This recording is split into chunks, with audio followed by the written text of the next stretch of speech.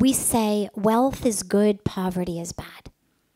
Health is good, sickness is bad. Success is good, failure is bad. But the universe doesn't have any such labels. And so to recognize, first of all, that this isn't a, it's not a punishment, it's not about being forsaken by God.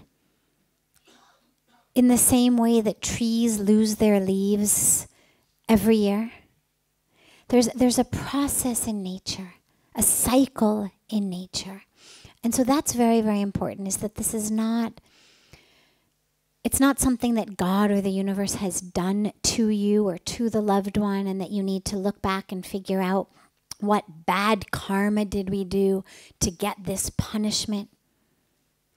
You know, we've we've really put this this concept of an authoritarian figure